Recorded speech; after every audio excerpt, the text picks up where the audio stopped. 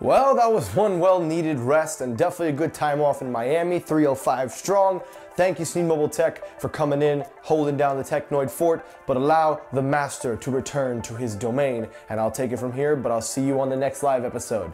Anyway, guys, we got a lot of stuff to talk about in so little time, so let's not waste any time. Let's get right to the news, starting with the Sony Xperia 1 Mark V.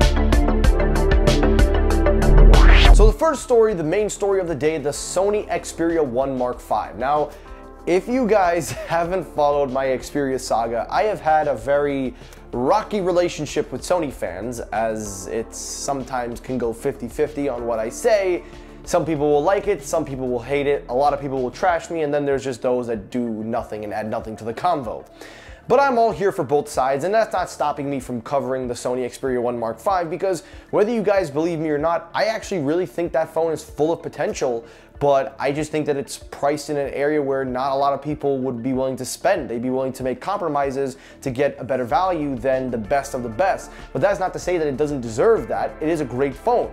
But with the Sony Xperia 1 Mark V, there is this little sense of deja vu going on, and there is an issue apparently going on in regards to the release date, the release cycle, and it's something that I've been reading about, and it's actually something that I agree with. According to the reports, it says that the Sony Xperia 1 Mark V will of course be making its debut sometime around now, as usual like all the other events that they've had in the past. Sony is continuing with this phone, they really want to push it and to some surprise, it actually has had some decent market share pickup and it actually has a great software support. It has great cameras, it's got great display, a headphone jack, so that's a big plus right there.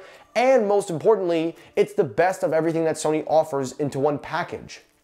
However, though, there is some things to talk about.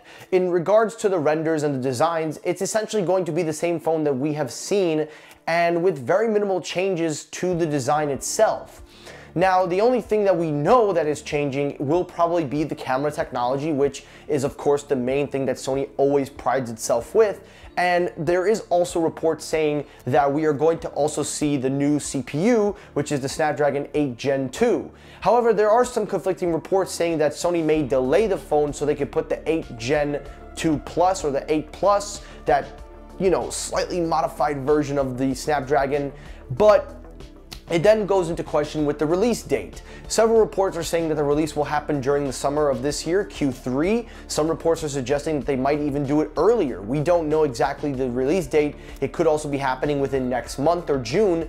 But there is an issue that a lot of people are talking about, and that is the timing of this phone.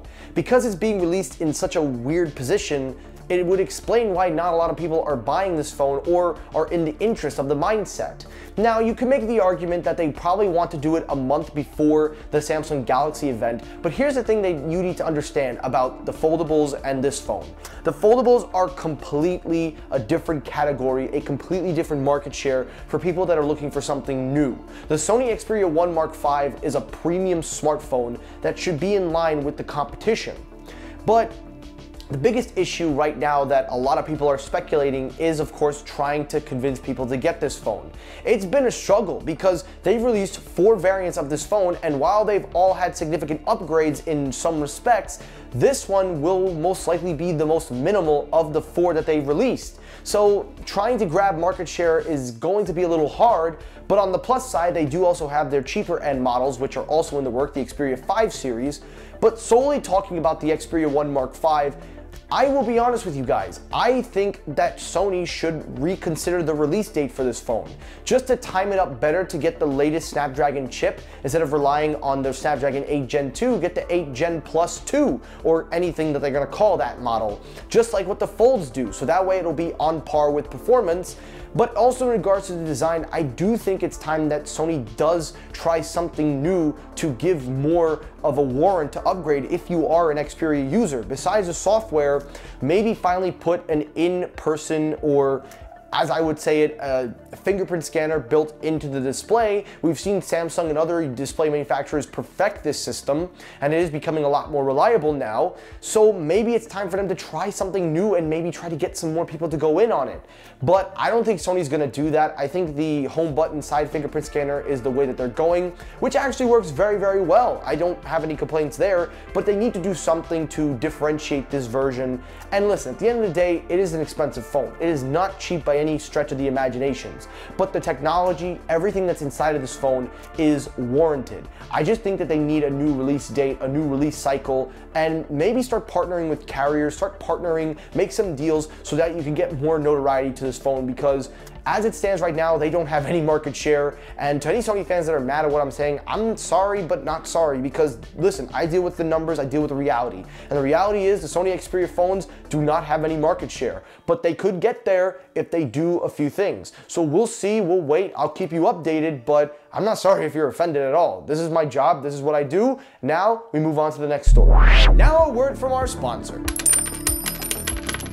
So as you know, the Technoid Show is a proud affiliate of Slate Chocolate Milk. Slate Milk has been kind enough to work with the Technoid Show for almost a year now, and I am happy to announce that they have really stepped it up in regards to protein milk for those that work out like myself, but also for people that are lactose intolerant. Slate milk is lactose free. It is also low on sugars and carbs. It is only 100 calories depending on the model you get, but most importantly, their flavors are delicious. I have drank them numerous times on my channel if you have not seen, and they have some great flavors from the original classic chocolate to mocha, dark chocolate, French vanilla, latte, etc., etc. And now with their new powder formula, which you can now add to make your own, they've just expanded their lineup even more. Head on over to slatemilk.com, check out all their flavors and choices, use a promo code TECHNOID to save yourself some money at checkout.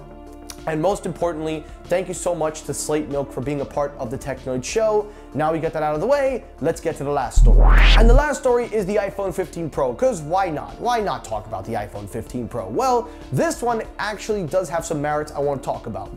According to several reports, it seems that the Apple has decided not to make solid state buttons. It looks like physical buttons are going to stick around for one more year. According to reports, it seems that there were some internal testings that Apple were doing with the solid state buttons, and long story short, it just seems like it wasn't working out. So rather than try to release it and knowing that it's going to have all its faults, they've decided to just opt to hold off on the solid state buttons using the Taptic engine and have instead gone back to the physical buttons, which I think nobody's going to get mad at. I think actually everyone would love physical buttons, and if it means that they need more time to work on it, that's perfectly fine. Now, the reports are saying that because they're holding off, there will be a few tweaks in the design, but essentially everything is still slated to go as follow. I just wanted to give you guys that quick update because if you were upset that Apple's trying to eliminate the buttons and whatever, it's not really a big deal breaker because they're going to be using the same feature that they did with the iPhone 7 with the Taptic engine being responsive to the pressure, to the gesture. But on the flip side, if you actually like a physical button, well, you got your physical button back, and I do think that, in my opinion, it's actually something that I think is warranted, and I don't see that being an issue, so just wanted to talk about that real quick. And that's it for today's episode of Technoid. Now, guys, I really hope you enjoyed this episode. If you did, hit the like button. If you dislike the video, you can hit the dislike button to help circulate my views as well. As always, everyone, thank you so much for watching. I will see you all in the next episode. Have a great rest of your day, guys. Take care, stay safe, have a good day, and peace!